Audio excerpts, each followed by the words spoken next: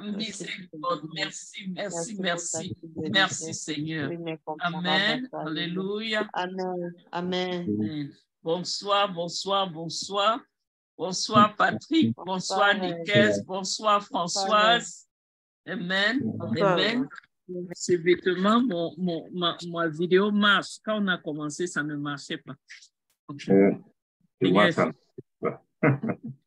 Et euh, l'ennemi, on va le combattre jusqu'au bout. Donc, on n'a pas besoin de. Voilà. Il veut nous fatiguer deux fois, mais nous, on n'a pas le temps. On sait qu'on va arriver là où on doit arriver. On a une mission. Amen. Bonsoir, Amen. Ousmane. Bonsoir. Bonsoir. Amen. Soyez bénis. Amen. Amen. Que je remplace euh, un des enseignants parce que on n'a pas trouvé quelqu'un pour enseigner aujourd'hui. Donc, euh, j'ai euh, voulu enseigner sur le combat spirituel. Mais nous allons d'abord prier avant d'y d'y arriver pour que les oreilles soient ouvertes. Vous pouvez être là parce que vous avez un problème, mais vous pouvez être là aussi parce que vous avez un fardeau de, des gens qui viennent vers vous pour, pour, pour la prière et Yeah. tout l'enseignement va vous aider. Donc, euh, nous allons prier que l'ennemi n'attaque pas ce que vous recevez et que vos cœurs soient disponibles, que ça devienne des éléments, des instruments de bataille dans votre foi, que ça augmente votre foi. Seigneur Jésus, nous te remercions pour ta grâce, pour ta miséricorde, pour ta bonté. Merci pour tout ce que tu fais. Seigneur, nous te donnons ce, cet enseignement, nous le couvrons de ton sang. Seigneur, nous chassons tout esprit de distraction, tout ce qui vient tout juste pour nous amener à croire autre chose. Seigneur, nous t'aimons et nous savons que nous sommes ici pour apprendre. Papa, enlève tout orgueil en nous. Élève ton nom au-dessus de tout. Merci pour tout, car nous te donnons toute la gloire. Amen. Amen. Amen. Amen. Donc, le combat spirituel. Je l'ai pris euh, d'un cours que Papa Choube avait partagé avec moi et je trouvais très intéressant. Donc, euh, c'est quelque chose que vous connaissez déjà, c'est pas quelque chose de nouveau, mais le Seigneur, il ajoute quelque chose à chaque enseignement. C'est ce que j'aime dans la, Bible. Tu lis la Bible, quoi que tu as fini, mais après tu te rends compte que eh, tu n'avais pas compris ça dans ce sens et ça va dans un autre sens. Donc, euh, personne doit apprendre le combat spirituel. Pourquoi? Parce que très souvent, les gens, les chrétiens ont pris la mauvaise habitude de déposer tout sur leur pasteur ou bien sur leur prophète, de telle sorte que eux-mêmes ils ne combattent plus. Moi, j'ai vu des gens, je leur dis, OK, pour ton combat, on va prendre le jeûne. Ils ne veulent pas jeûner, mais ils veulent que c'est moi qui jeûne. Donc, autant le combat spirituel doit être enseigné à tout le monde. C'est une responsabilité en tant que chrétien. Parce que si tu as un domaine, nous avons la, domination. Si tu as un domaine, il faut que les, ton domaine soit bien établi. Et pour établir ton domaine, tu dois le garder, tu dois combattre, tu dois faire beaucoup de choses dans le combat spirituel. Donc, euh, nous devons comprendre que Canaan, une terre de victoire, c'est une terre de combat et de victoire. On ne se réjouit pas seulement en Christ comme ça, non. Si vous allez voir, c'est après le combat qu'on s'est réjoui. Mais il fallait apprendre à combattre. Donc, euh, qu'est-ce que le diable fait de fois pour, euh, pour quelle est la stratégie qu'il applique contre nous? De fois, il nous attaque à plusieurs domaines. Il peut t'attaquer individuellement, ou il peut attaquer autour de toi, ou il peut attaquer euh, là où tu travailles. Il y a plusieurs domaines. Si vous voyez Job, Job mentionne environ cinq domaines là où l'ennemi pouvait attaquer. Il a parlé de lui-même, il a parlé de ses possessions, il a parlé de ses enfants, il a parlé de, de plusieurs domaines quand vous lisez le livre de Job au début. Vous voyez qu'il y a plusieurs domaines dans lesquels l'ennemi attaque. Mais maintenant, est-ce que le Seigneur nous a laissé comme ça? Non. Le Seigneur nous a donné une armure qui est offensive, mais qui est aussi défensive.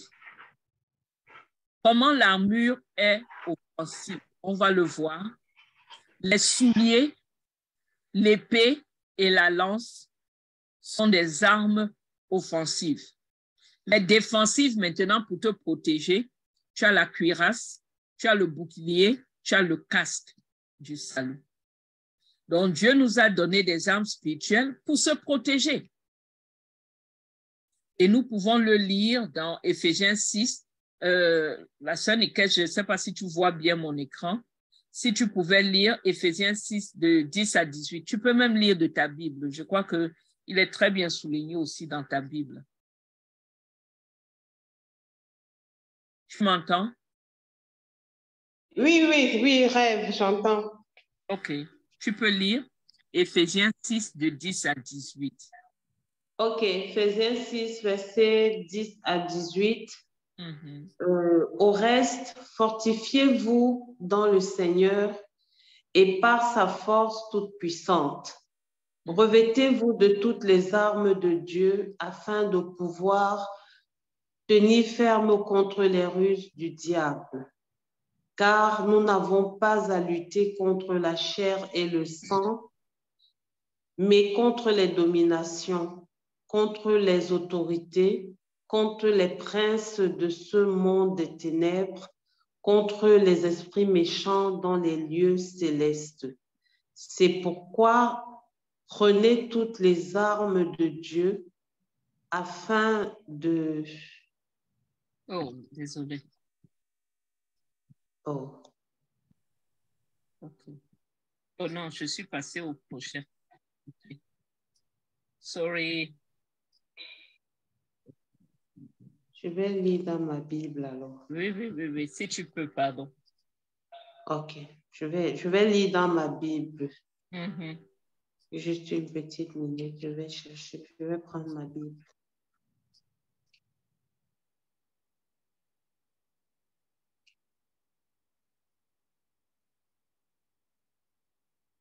Je ne sais pas si c'est trop petit, j'ai essayé de...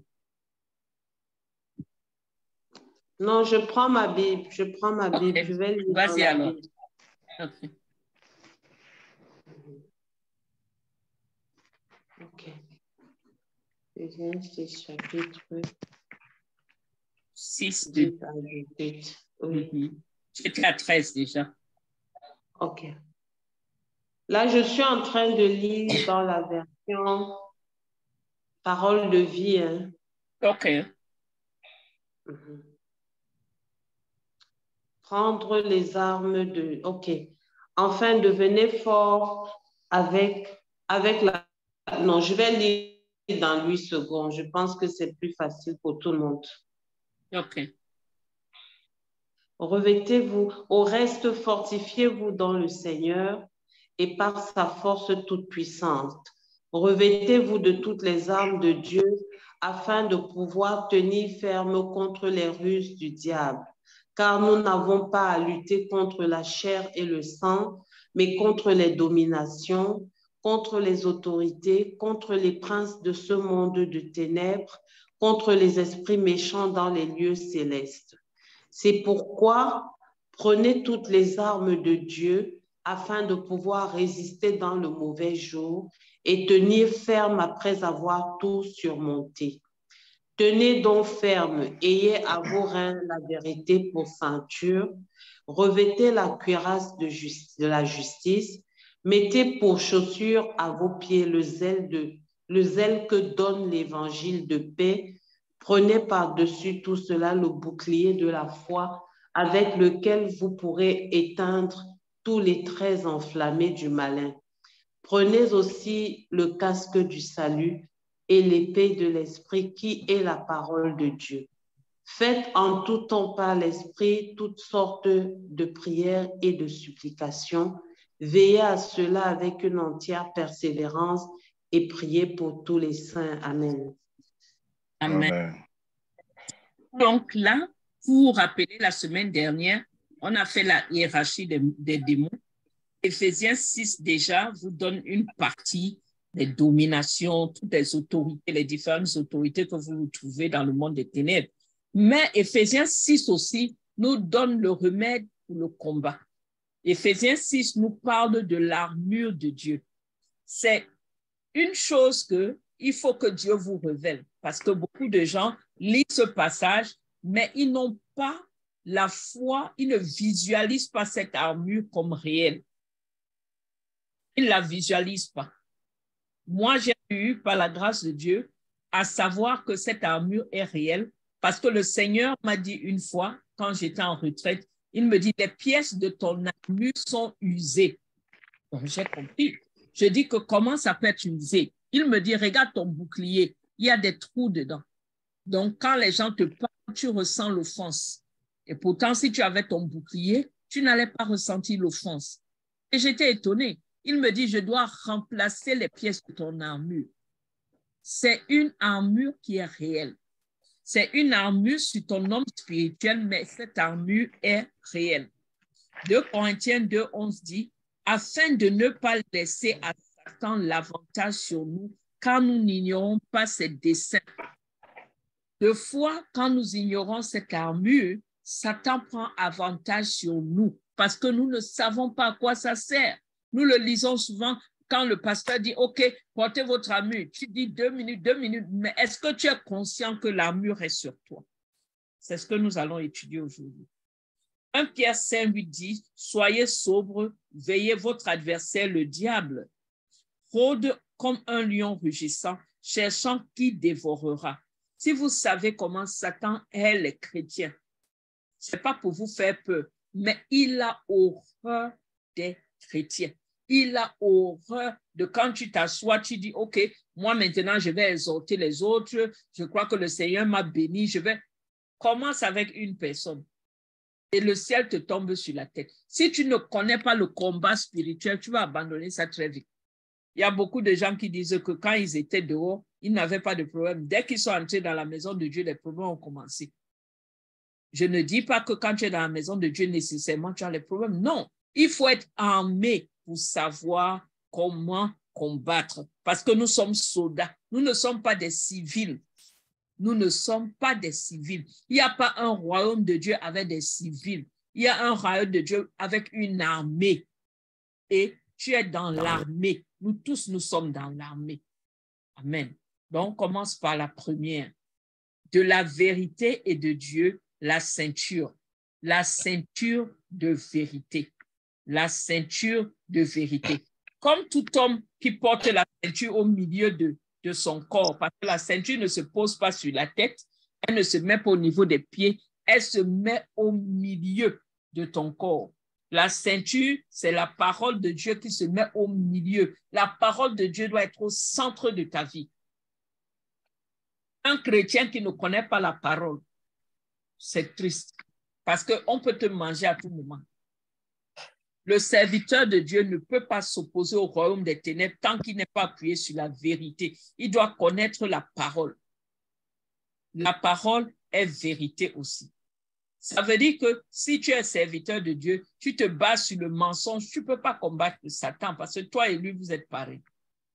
Satan réalise son œuvre par la tromperie et l'ignorance. Par conséquent, il est important que la vérité pénètre dans tout votre être. Il y a des choses que Dieu vous dira à vous seul. Ça va faire mal.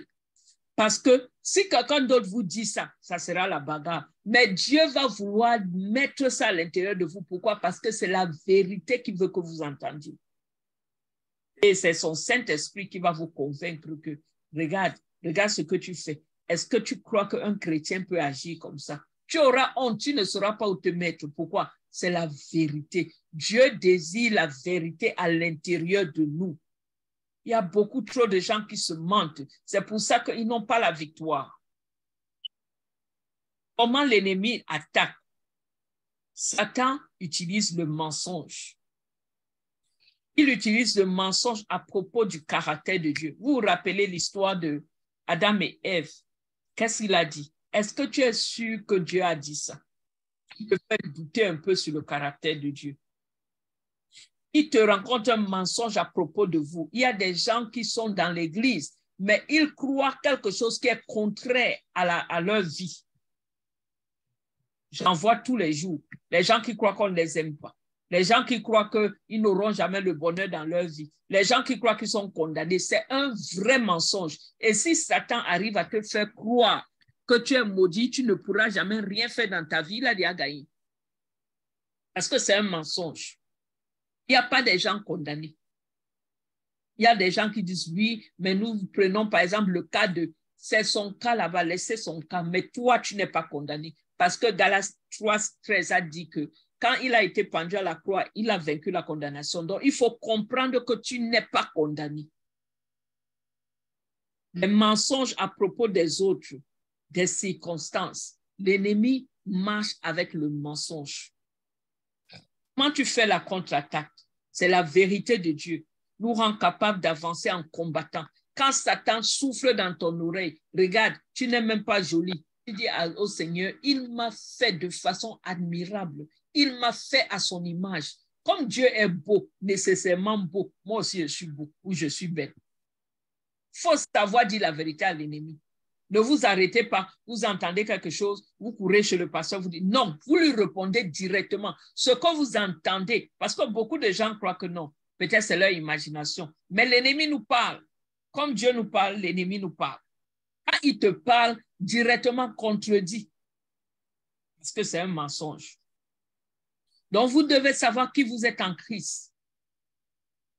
Saignez vos reins, préparez-vous à l'action. Tu dois porter la vérité. Qui es-tu en Christ? Je suis la tête et non la queue. Qui es-tu en Christ? Tu déclares, je suis racheté. Qui es-tu en Christ? Je suis à l'image de Dieu. Qui es-tu en Christ? Quand tu es convaincu de qui tu es, l'ennemi ne peut plus s'approcher avec le mensonge. Exode 12, 11 parle de la Pâque. Il dit, quand vous le mangerez, vous aurez vos reins sains, vos souliers aux pieds et votre bâton à la main, et vous le mangerez à la hâte. C'est la Pâque de l'Éternel. Il faut savoir que quand tu prends la parole de Dieu, ça entre à toi à la hâte. La parole doit rester, la parole doit vivre à l'intérieur de toi. Et c'est cette parole-là que tu utilises contre l'ennemi. Agissez, soyez vêtus. Il faut te, il faut te vêtir de la parole. Luc 12, 35 dit, que vos reins soient sains et vos lampes allumées. C'est très important. Si l'ennemi trouve que ta lampe est éteinte, s'il trouve que tu n'as pas la vérité en toi, s'il trouve, il peut te faire avaler n'importe quelle couleuvre. C'est très important. C'est un combat que ton pasteur ne peut pas faire pour toi. Même s'il t'aime, il ne peut pas être dans tes pensées, il ne peut pas être dans ta vie, il ne peut pas entendre quand l'ennemi te parle. C'est un combat que toi-même tu dois faire. La vérité, c'est quoi? La vérité, c'est ce que la parole dit. Donc, dans tout ça, qu'est-ce que tu fais? Tu surveilles tes pensées. 1 Pierre 1, 13. C'est pourquoi saignez les reins de votre entendement, soyez sobres, ayez une entière espérance dans la grâce qui vous sera apportée lorsque Jésus-Christ apparaîtra. Il faut avoir l'espoir en Christ. Il faut attraper le Christ là dans les mains et tu dis, moi, je ne le laisserai pas il est ma joie, il est mon espoir, il est tout ce que je veux. Je n'ai besoin de rien d'autre, mais de lui. J'ai beaucoup de gens qui viennent vers moi. Deux fois, ils viennent avec des professions. Deux fois, ils viennent avec autre chose. Mais deux fois, j'entends en eux autre chose que ce que dit la Bible. Je leur dis non.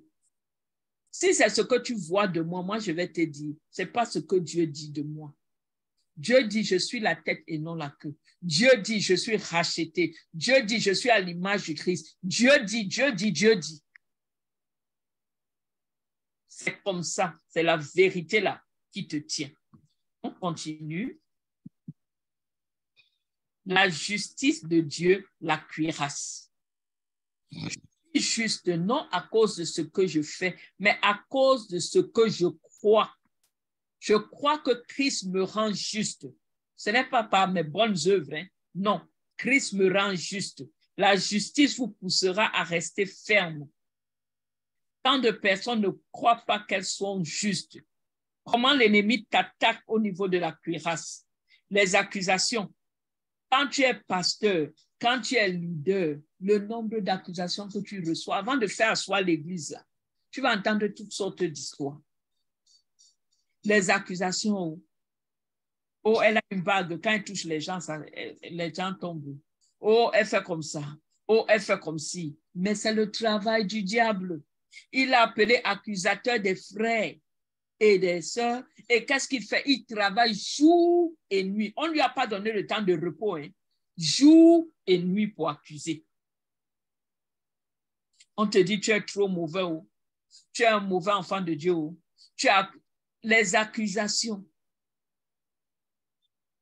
Et quand tu as trop d'accusations, qu'est-ce qui se passe? L'ennemi essaie de te pousser au désespoir. Et tu finis par croire que tu es condamné. Condamnation. Tu te sens coupable. Parce que toute la journée, toute la journée, toute la journée, tellement accusé que je me disais, et ce n'était pas seulement que j'entendais, même dans la nuit, je le voyais. Donc, tu commences à te poser les questions. Est-ce que est-ce que je suis même, je suis, est-ce que je suis même appelé? Est-ce que tout ça, c'est le plan de l'ennemi pour que tu doutes? Tu ne te sens plus valable. Vous devez comprendre qu'il faut confesser la parole de Dieu pour garder l'habit du juste. Nécessité de dire la vérité aux voix qui s'élèvent contre vous. Deux fois, une autre attaque, c'est quoi? L'orgueil spirituel. Satan veut vous placer à un endroit où vous ferez confiance à votre propre justice plutôt qu'à celle de Christ. Combien d'hommes de, Dieu tombent dans l'orgueil? Oh, quand j'ai fait ça, il y a plus de 20 personnes qui sont sorties guéries. Quand j'ai fait ça, il y a plus. C'est la grâce de Dieu. Que je vous dise, de fois on prie pour quelqu'un. Ça passe si Dieu dit, oh, son cas est fini mais tu ne sais même pas qu'est-ce qui va se passer dans les cinq minutes. La personne peut se lever de la chaise roulante, commencer à courir, mais toi-même dans ta prière, c'est seulement Jésus que tu avais mis devant. Tu ne savais pas que ça allait se passer. Tout est fait par la grâce. Tout est fait par la grâce. Il n'y a pas de super homme de Dieu. C'est la grâce. Amen. Et comment tu contre-attaques tout ça là? la protection, un cœur revêtu de la justice de Dieu. Il faut garder ton cœur. Les accusations viennent beaucoup, mais il faut garder ton cœur. Si tu laisses l'offense entrer, tu vas te dire, tu ne pourras plus prier. Parce que tu vas prier maintenant les prières de vengeance. Que le feu tombe sur lui, brûle. Que, que la, la, la, la, lance ou bien quoi, quoi, quoi. Il y a les gens comme ça. Je perce ses yeux. Je fais. Pourquoi? Parce que ils ont laissé l'amertume entrer. Et l'amertume a créé autre chose dans le Ils n'ont plus les prières normales. Hein. C'est les prières de tuerie. Il faut garder ton cœur pur. Ton cœur est un hôtel. Et c'est de ton cœur que les effluves sortent et ça plaît à Dieu. Quand tu adores en vérité, c'est les effluves là qui vont dans le, nez de ton papa et il dit Waouh, attends, je vais voir comment je vais aider ma, fille, je vais voir comment je vais aider mon fils. Mais si ton cœur est plein de haine pour ce que tu as fait, l'autre t'a fait, ne va pas t'en sortir. Même s'ils ont fait, ils étaient placés sur ton chemin pour que tu puisses les dépasser. Il faut comprendre le plan de Dieu. Des motifs purs, toujours rechercher, toujours rechercher l'honneur de Dieu faut avoir des motifs purs dans Vous pourrez lire après Malachie 2, 2, Ésaïe 42, 8. Il faut se tenir dans la justice de Dieu et jamais dans votre propre force. Jamais dans votre propre force. Romains 22, 25 dit, justice de Dieu par la, la, la foi pour tous ceux qui croient il n'y a point de distinction. C'est lui que Dieu a destiné par son sang à être, pour ceux qui croiraient, victimes propitiatoires afin de montrer sa justice parce qu'ils avaient laissé impunis les péchés commis auparavant au temps de sa patience. De montrer sa justice dans le temps présent de manière à être juste tout en justifiant celui qui a la foi en Jésus. Amen. Amen. Nous continuons. J'espère que vous me suivez. J'espère que je n'ai pas perdu une personne. Amen, amen, amen. Amen. Nous allons maintenant à la paix de Dieu. Vous ne savez pas comment c'est important pour un chrétien d'avoir la paix. Un chrétien qui passe le temps à faire des palabres, là, qui se regarde bien au miroir, c'est quel esprit dedans? Le, le travail de l'ennemi sème la confusion, les querelles, les divisions. Avec Dieu, c'est qui qui dort fort, fort comme ça? ok, moi pour être fatigué, attends, je vais l'éteindre.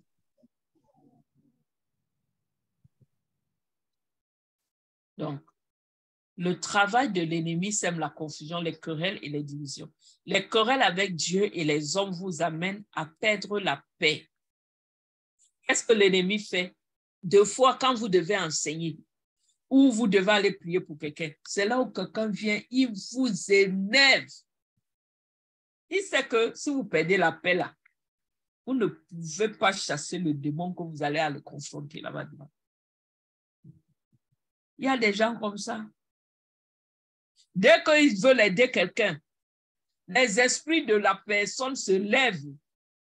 Ça attaque les gens autour de vous. Il vous provoque. Vous finissez dans la querelle. Vous devez comprendre le combat spirituel. Matthieu 5, 11 et 44. Heureux serez-vous lorsqu'on vous outragera, qu'on vous persécutera et qu'on vous dira faussement de, de vous toutes sortes de mal à cause de moi. 44. Mais moi, je vous dis, aimez vos ennemis. Ça, c'est la parole la moins comprise dans la Bible. Aimez vos ennemis là. Parce que les gens ne comprennent pas comment tu peux aimer ton ennemi. Bénissez ceux qui vous maudissent. Faites du bien à ceux qui vous haïssent. Et priez pour ceux qui vous maltraitent et qui vous persécutent. Le vrai combat, c'est accepter que Christ combat pour toi. Le vrai combat, c'est laisser ta chair mourir et laisser Christ combattre. L'attaque, comment ils font pour t'attaquer? Ils viennent, ils te provoquent. Ils te persécutent. Tu es au travail, il y a tel rapport, tel rapport, tel rapport. Toi-même, tu te demandes que mince. Mais l'histoire, c'est à commencer comment? C'est comme un tourbillon autour de toi. Quel problème encore? Les mensonges. Quelqu'un ment sur toi. Oh, j'ai vu l'autre. Oh, j'ai vu l'autre. Deux fois, c'est dans l'église. Elle ne croyait pas ça ailleurs. Les gens mentent. Et deux fois, ils mentent. La même personne qui ment vient pour que tu pries pour lui. Seulement pour tester. Est-ce que tu as la paix de Dieu dedans? Les compromis. OK, moi, je ne vais pas souvent, euh, mais bon, pour cette fois-ci, je vais aller seulement pour pouvoir aider tel frère ou telle soeur la passivité. Le combat est là, tu décides que tu ne combats pas. Ça aussi, c'est un problème. La contre-attaque de toutes ces attaques-là. Toujours marcher sur le chemin de la paix. Pardonner. Il faut apprendre à pardonner avant même que quelqu'un lève son ton, tu es à genoux. J'ai pratiqué ça. Et j'ai vu que c'est la meilleure, meilleure façon de survivre avant que quelqu'un n'a même pensé que, oh, je vais lui faire, tu sais, je ne peux pardon, il faut me pardonner. L'histoire, c'est fini. Quand vous arrivez à ce niveau-là, c'est là où vous êtes grand en Christ.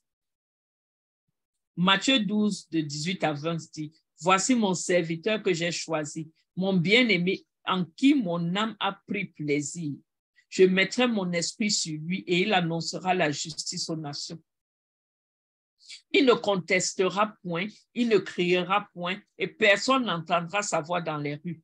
Il ne brisera point le roseau caché, il n'éteindra point la lampe qui fume, jusqu'à ce qu'il ait fait triompher la justice. Il y a une force dans la paix que vous ne pouvez pas comprendre. Il y a une force dans la paix. Apprenez la force de la paix. Nous ne, nous battons pas contre la chair et le sang. Nous nous opposons aux puissances qui se cachent derrière la personne qui vous attaque. C'est qui qui vous attaque. La force du combat, c'est savoir qui est derrière la personne. Élever son esprit, attacher l'esprit derrière la personne et rendre l'esprit là silencieux, sans vous attaquez à la personne. Nous prêchons un évangile de paix. C'est à vous de marcher. C'est à vous de choisir la paix. Moi, j'ai compris depuis que c'est en suivant Jésus que tu gagnes le combat. C'est pas dans la chair. C'est pas dans la chair. Donc, il faut savoir comment donner la paix à celui qui veut t'offenser. Amen. Je continue. Hein? Amen. Vous pouvez mettre les questions pour la fin. La fidélité de Dieu, le bouclier, ça c'est un très grand instrument. Le bouclier était fixé à la ceinture. C'est ainsi que la foi est attachée à la parole. L'attaque principale est dirigée contre votre foi. Votre bouclier, c'est quoi? C'est le foi. Quand votre, c'est votre foi. Quand votre bouclier est percé, vous doutez déjà. Vous doutez déjà. 1 Timothée 6, 12 dit, combat le bon combat de la foi saisis la vie éternelle à laquelle tu as été appelé et pour laquelle tu as fait une belle confession en présence d'un grand nombre de témoins. Deux fois, tu ne vois même pas devant toi. Tu es assis là. On te promet quelque chose. Les gens ont prophétisé sur toi. Tu sais que ça arrive, mais tu ne vois même pas devant toi. Tu ne sais pas ce qui va arriver dans les deux jours qui viennent. Mais qu'est-ce que tu fais? Tu attrapes la foi et tu dis, c'est ce que je crois et c'est ce qui sera. Et tu commences à déclarer. Comment on attaque ta foi? Le manque de croyance.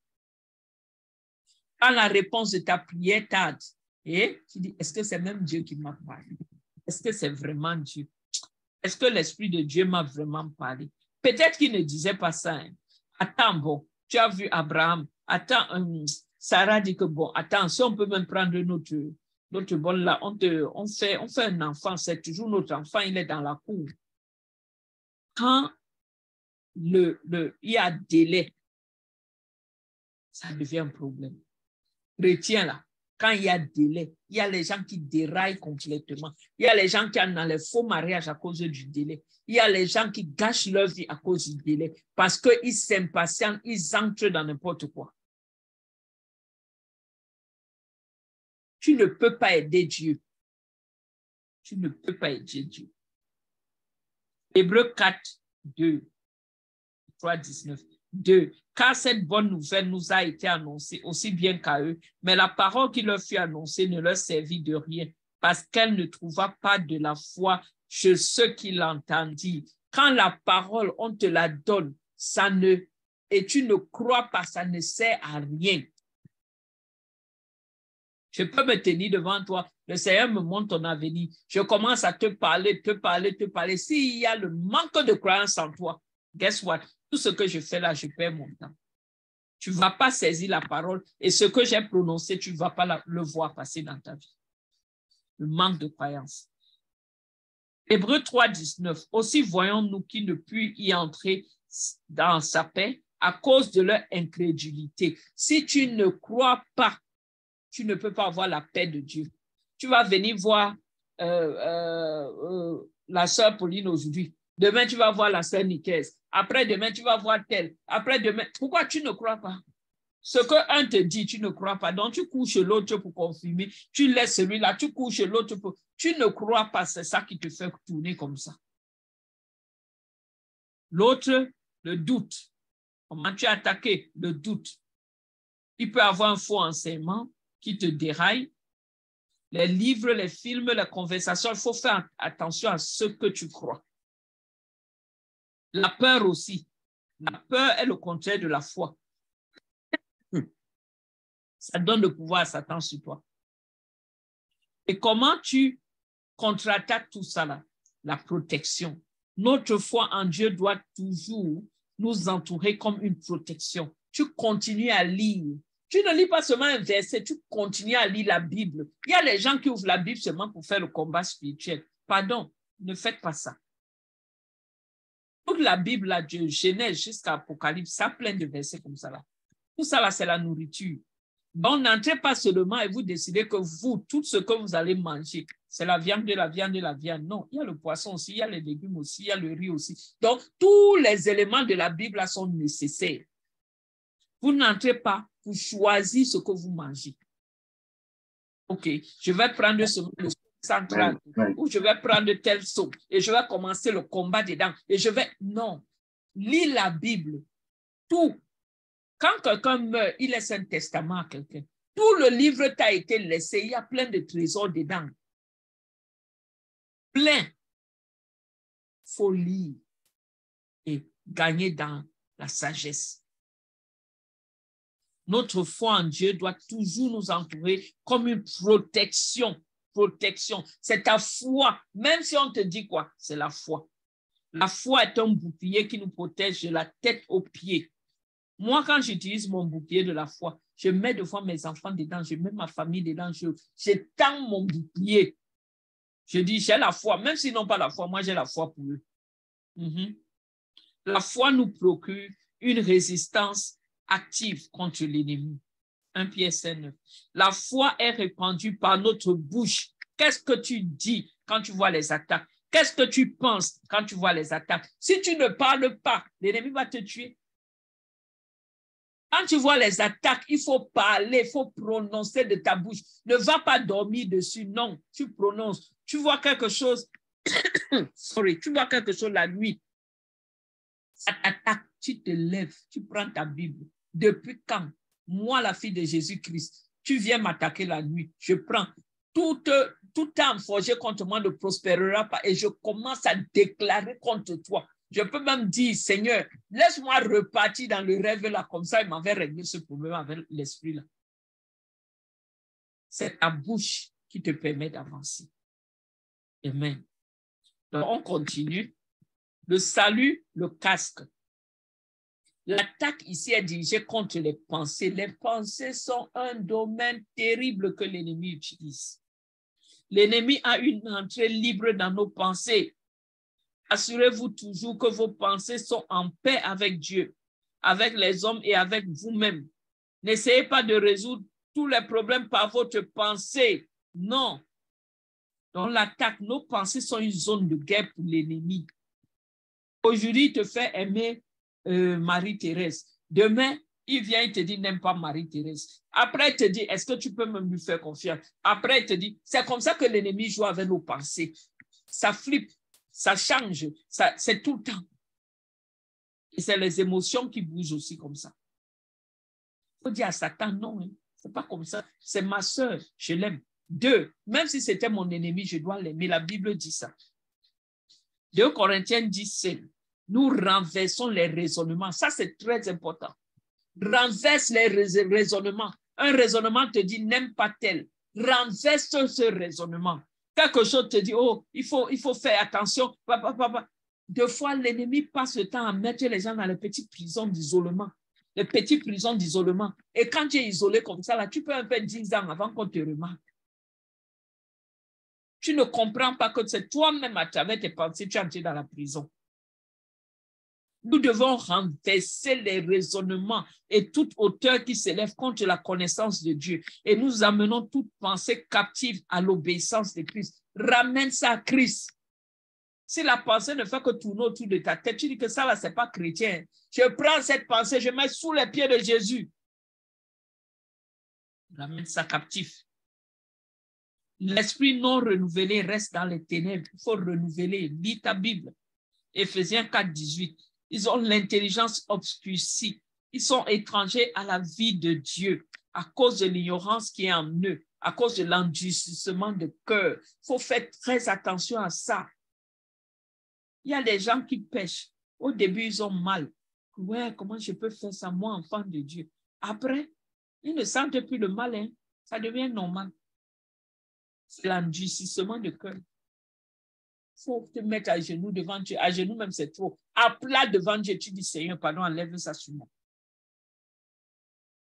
Enlève ça, même si c'est un gros nom qui a sur toi. Mieux tu vas, tu es sauvé. Au lieu que tu ailles en enfer après avoir sauvé tant de personnes. L'esprit charnel vit de manière charnelle. Romains 8, 6. Et l'affection de la chair, c'est la mort. Tandis que l'affection de l'esprit, c'est la vie et la paix. Une autre attaque, l'imagination. Tous ces domaines-là, il faut les checker. C'est quoi ton imagination? Les gens vont, même ils dorment, ils imaginent les choses. Moi, j'ai ça dans l'église. Quelqu'un qui vient, il me dit, là, c'est une, une. Elle vient me dire que la langue que quelqu'un d'autre parle, c'est une mauvaise langue. La même personne qu'elle a pointée pour dire que c'est une mauvaise langue, la même personne tourne derrière. Elle vient nous voir aussi. Elle nous dit que la langue que l'autre soeur qui est venue la trahir la parle, ce n'est pas une bonne langue, ce n'est pas une langue de Dieu. Les deux passent le temps. Qu'est-ce qui se passe? C'est leur imagination qui les fatigue. Faut purifier ton imagination. Imagination est source d'illusion. Il faut purifier l'imagination.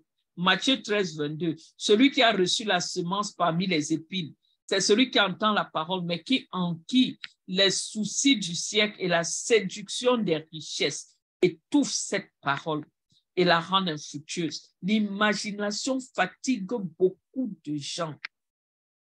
Les calculs fatigue beaucoup de gens. Quand s'assoit, il commence à calculer dans sa chambre. Il crée une histoire là-bas, il crée une prophétie, il vient bombarder ça aux gens. L'imagination fatigue. Vivons dans la vérité. Quand tu vis dans la vérité, ce pourquoi Dieu t'a préparé apparaît. C'est très important. L'imagination est source d'illusion. On continue, on a pratiquement fini. Les soucis de ce monde nous lient, étouffent la parole. Les soucis sont un engrenage. Les pensées se tournent et se retournent dans notre pensée. Il faut faire attention. Comment tu contre-attaques pour les pensées? Conduis les pensées actives à l'obéissance. Ne pas permettre aux pensées de vagabonder, c'est important. Tu peux te parler à toi-même. Tu dis, Paulette, à partir de maintenant, tu ne vas plus penser mal de tel. Tu te parles à toi-même. Hein. Tu verras qu'à un moment, les pensées contre cette personne-là vont arrêter. Il faut arrêter les pensées. Une parole qui se promène comme ça dans ta tête. Oh, mon notion est plus grande que son faut attrape ça très vite même. Tu dis, toi, esprit d'orgueil, je ne te permets pas de, te, de vagabonder dans ma tête. À partir d'aujourd'hui, Jésus a dit, celui qui sert, celui qui lave les pieds des autres est le plus grand. Je vais servir les autres et je vais laver leurs pieds. Il faut attraper ça très vite. Être renouvelé dans votre esprit, dans votre manière de penser. Éphésiens 4, 23. L'asservissement des sectes et de l'occulte sur votre esprit doit être brisé. Au reste fait tout ce qui est vrai, tout ce qui est honorable, tout ce qui est juste, tout ce qui est pur, tout ce qui est aimable, tout ce qui mérite l'approbation, ce qui est vertueux et digne? Donc, tu choisis ce, que, ce dont tu penses. Tu ne penses pas à tous les domaines, non. Non. Tu choisis ce que tu veux penser. Dans la vie, tu choisis ce, que tu veux penser. Tu ne laisses pas tes, pensées aller à gauche, à droite, et ça se promène dans ton village et ça revient et tout. Non, choisis. Tu dis que ça là, ce n'est pas mon problème. Je sors de ce problème-là. Choisis. Amen. Donc, on finit. La parole de Dieu, notre paix. Cette épée possède deux tranchants. First, la première chose, la parole de Dieu, c'est la bouche de Dieu. Quand tu parles là, quand tu prononces la parole, ça va et ça agit. Donc, l'épée de l'esprit est une épée vivante dotée d'une puissance divine. Quand nous faisons la délivrance, quand tu dis esprit de tel, tel, tel, maintenant tu sors d'elle. La personne commence à manifester, poum, ça sort. C'est quoi? C'est la parole qui est en toi, qui a agi comme par le Saint-Esprit, le doigt de Dieu. Pas, tu permets. Ça sort.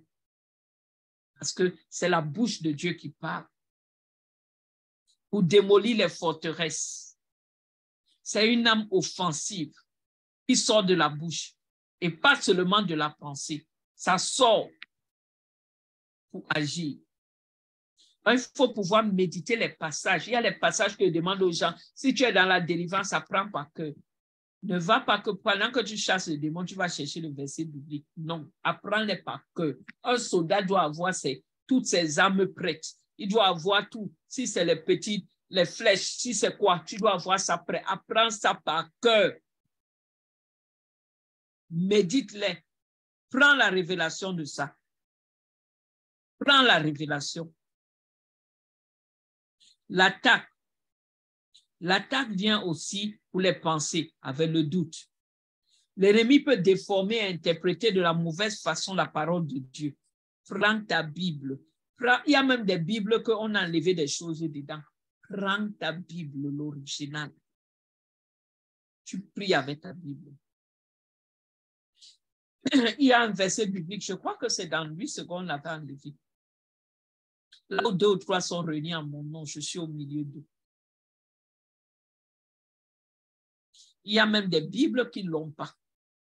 Il dit seulement tout ce que vous attachez sera détaché, tout ce que vous détachez. Ce passage-là, là où deux ou trois sont en mon nom, je suis au milieu d'eux, ils ont enlevé complètement. Pourquoi? Parce que chaque fois que tu lis ce passage-là, un hôtel s'établit et l'hôtel-là, Dieu est présent. Donc, à partir du moment où tu établis cet hôtel, tu peux juger l'ennemi. Mais ils ont enlevé ça de la Bible pour que tu ne comprennes pas la puissance de cette parole. Comment il faut aussi? Il vaut la parole du cœur des personnes qui l'entendent. Une fois, on chassait les démons à l'église et le démon était dans l'oreille de la personne. On a attrapé, on dit ici, tu vas sortir. Le démon dit qu'on n'a qu'à le lâcher parce qu'il doit aller entrer dans les oreilles des gens qui viennent de sortir de l'église. Ça veut dire qu'il attend, tu écoutes toute la précise, tu sautes, tu sautes. Oh, le sermon là. Quand tu te promènes, tu sors de là, il entre. Tout ce que tu as retenu là, tu oublies. Mais le pasteur a fait un bon sermon. Mais c'est quoi le sermon du pasteur? Tu ne te rappelles même. Les esprits sont mauvais. Comment il attaque aussi? L'enseignement des démons. Il faut faire attention à ça. La contre-attaque. Ne pas répéter la parole de Dieu comme un perroquet. Il est nécessaire d'avoir foi dans la parole. Chaque parole que tu prononces est la foi dedans. Si tu n'as pas la révélation, ça ne sert à rien. Dès que tu as la révélation, quoi que ce soit, sache que ça devient un instrument fort contre l'ennemi. Donc, ne pas craindre de repousser Satan. Nommez le territoire, la parole de Dieu sur lequel vous vous tenez. Chaque fois que vous parlez, prenez, c'est sur quelle base? Je prie pour le mariage, c'est sur quelle base tu pries sur le mariage? Quel est le verset biblique que tu utilises? Comment tu vas à l'attaque? Comment tu vas briser les liens ancestraux? Qu'est-ce que tu utilises comme verset biblique? On ne prie pas au hasard. Utilise ce que Dieu t'a donné. Prends l'épée, prends la parole, utilise cette parole-là, dévisse, utilise la clé, ouvre la porte. C'est comme ça que tu fais. Dis la vérité avec autorité et foi. Amen. Pour finir, en tout temps, priez dans l'esprit. Priez dans l'esprit en tout temps. Les prières, c'est à tout moment. En tout temps, tu pries. Il y a plusieurs sortes de prières. Toutes ces prières-là, nous devons les connaître prière de consécration, prière de demande, besoin urgent, action de grâce, les supplications, les intercessions, tout ça là, le Seigneur nous a enseigné par différents hommes de Dieu dans la Bible. Il faut avoir le zèle du Seigneur. Ésaïe 59, 17. Il se revêt de la justice comme d'une cuirasse. Il met sur sa tête le casque du salut. Il prend la vengeance pour vêtement et se couvre de la jalousie comme d'un manteau. Pas du Seigneur. Il vous protège comme un manteau. Il vous protège du découragement. L'arrière-garde, c'est quoi l'arrière-garde? Quand tu es un soldat, tu verras que sur la mur, tout ton devant est protégé. Mais qu'est-ce qui se passe derrière? Nous devons nous protéger les uns et les autres. Hein. Là où nous sommes ici, quand nous prions, nous devons nous protéger les uns et les autres. Ne faites pas que votre pasteur prie, prie, prie, prie pour vous. Vous ne priez jamais pour lui. C'est pas bon. Nous devons nous protéger les uns des autres. Qui est derrière toi? C'est un autre soldat qui doit être derrière toi. Donc, les personnes doivent vous couvrir. Moi, je pleure les gens que ils deviennent pasteurs et il n'y a personne, ils n'ont pas de supérieur. Je pleure pour eux parce que le jour où le diable va vouloir te dégager, il va te dégager très vite. Il faut toujours avoir quelqu'un pour te couvrir. Oh oui, j'ai été appelé par Dieu. OK, tu as été appelé par Dieu, mais il t'a inséré quelque part. Donc, il faut accepter que quelqu'un est au-dessus de toi pour prier pour toi. C'est très important ce dont je parle. Très important. Il te faut quelqu'un au-dessus de toi. Si tu n'as personne, cherche un papa que tu dis que un papa, une maman, tu dis que pardon, je vais être au-dessus. Et quand il te parle, tu l'écoutes. Ce n'est pas que tu viens seulement lui raconter les choses qui lui plaisent. Mais dès qu'il te fait une remarque, tu t'énerves. Que c'est moi-même qui t'ai mis papa Je peux me débarrasser de toi quand je veux. Ne faites pas ça. En priant, pendant que vous combattez et reconstruisez le mur qui était démoli, cherchez la protection de Dieu. Protection par un homme de Dieu. Amen. Donc, conclusion. Conclusion. Je vais. Euh, conclusion. Les sept points dont on a parlé sur le combat spirituel, on a parlé du salut, le casque du salut, notre casque. Soyez renouvelés par l'Esprit dans votre intelligence, la justice de Dieu, notre cuirasse.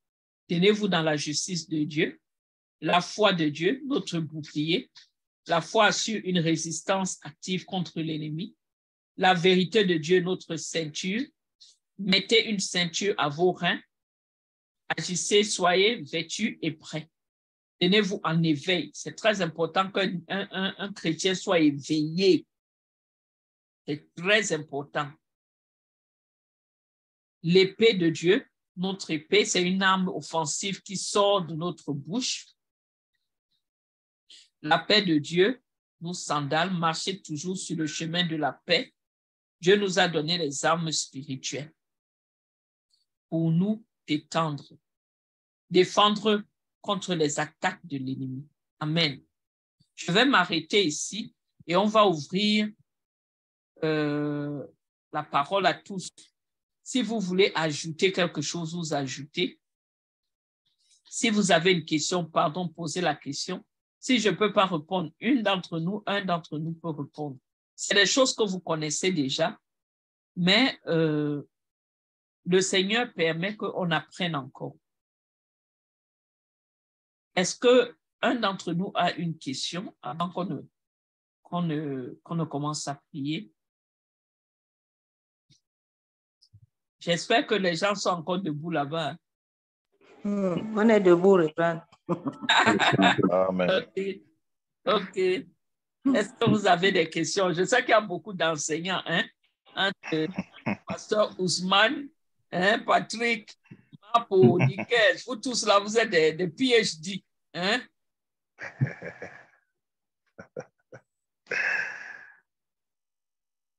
Est-ce qu'il y a une question? Nous tous, nous faisons le combat de façon régulière. Est-ce qu'il y a une question?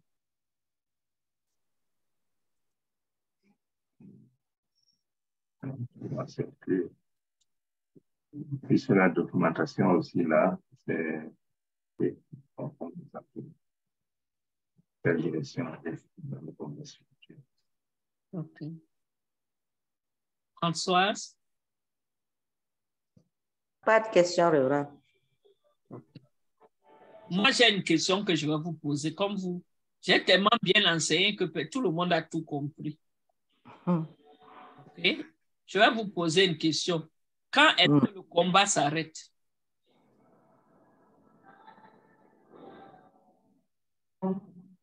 Françoise. Mais pour moi, le combat s'arrête quand on a... Je ne t'entends pas. Je dis, le combat, il est permanent. Donc, en réalité, il ne s'arrête pas véritablement parce que, ben, pardon, on est en combat de façon permanente. Maintenant, il y a des périodes où ça va, on arrête, on passe à autre chose, mais combat en tant que tel arrêt, en fait, ça, c'est mon avis. OK. Patrick, tu as une réponse à ça? Il y a tout le temps, donc le combat est permanent. Et il n'y a pas de. C'est parce que l'erreur serait même qu'on baisse les bras en voyant que tout est déjà passé. Et c'est là où l'ennemi n'y arrive pas. Donc, nous devons rester tout le temps éveillés, continuer à prier. Prier en tout temps. Mhm. La Bible dit watch and pray. Ça veut Mm. dire veille et prie. Mhm. Donc, c'est à tout moment que tu veilles et tu pries.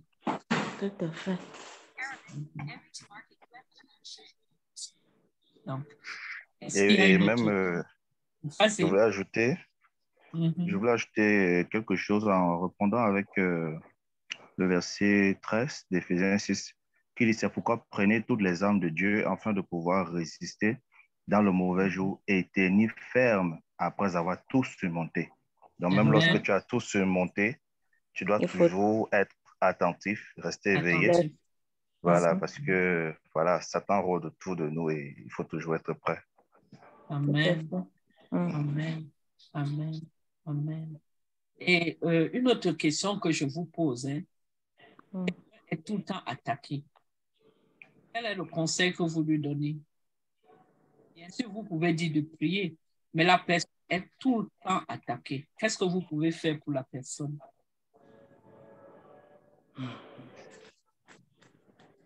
Ouais, il faudrait savoir quelle est la porte qui est ouverte. Parce que si elle est tout le temps attaquée, c'est qu'il y a une porte ouverte quelque part. Exactement. Aller dans les fondements et fermer la porte qui est ouverte. Amen. Amen. C'est très important. Il faut checker Mm. la personne. Il faut faire une cure d'âme.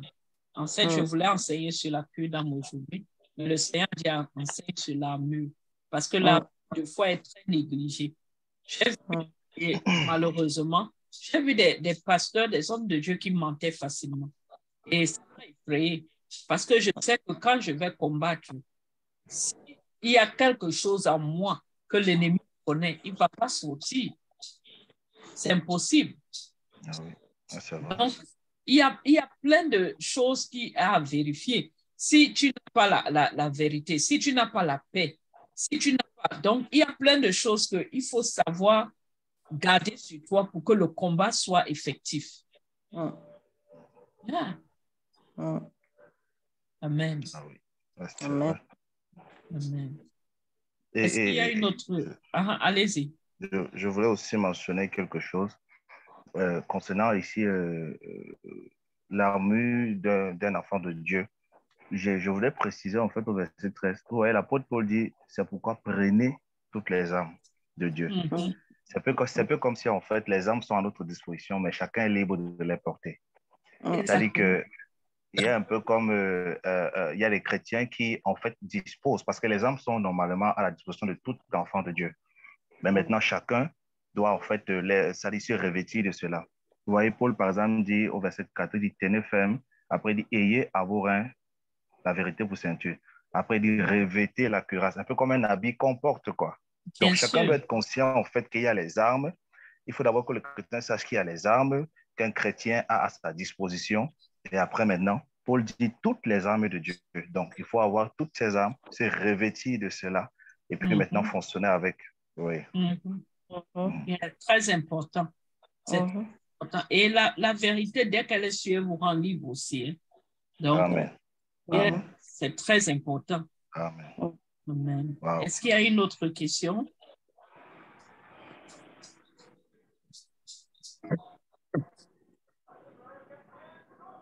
Amen. Amen.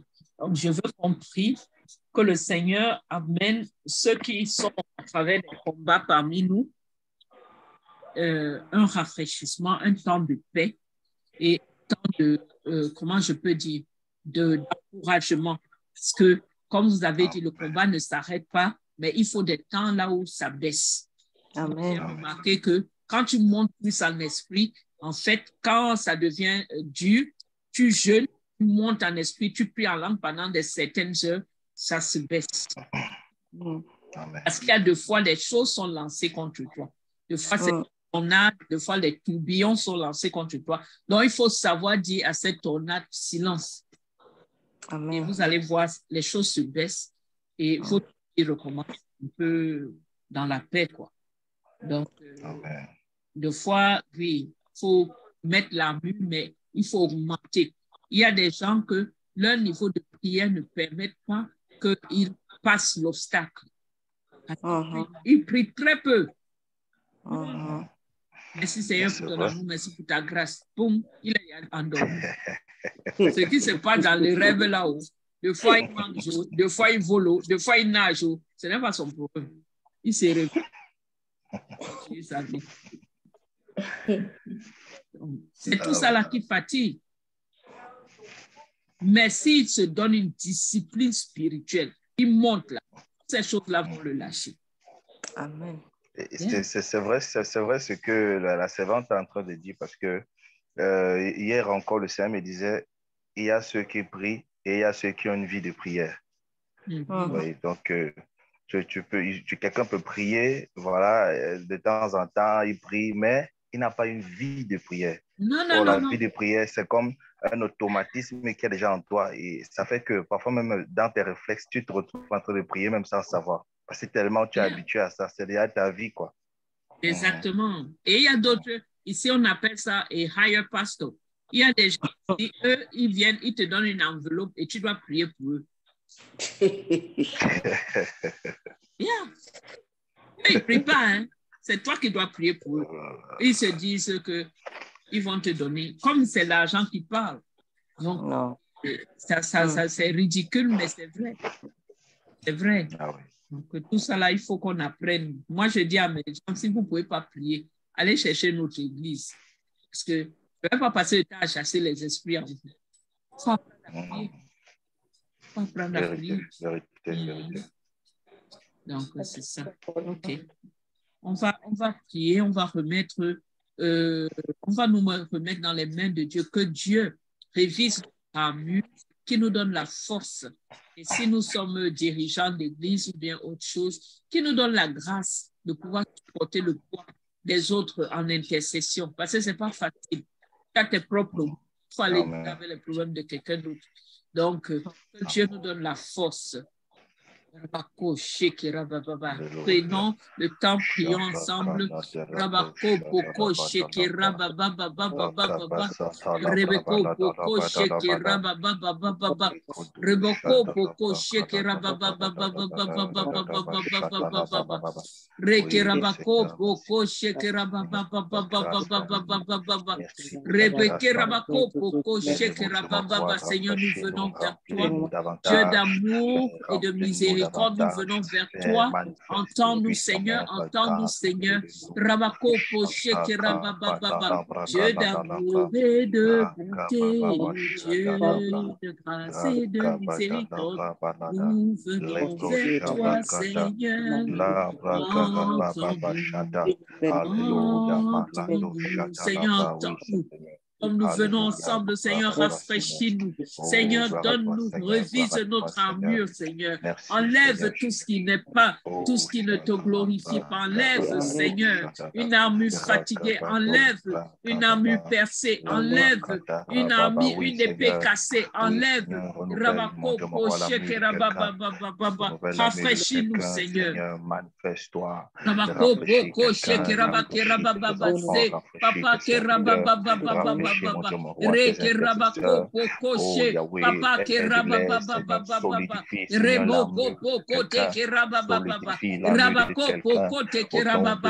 Toi le Seigneur qui nous a envoyé, rebeke rababababa, faire le travail que tu nous as donné. Seigneur, rafraîchis-nous. Seigneur, rafraîchis-nous. Que ta grâce soit sur nous. Que ton amour soit sur nous. Que ta paix soit sur nous.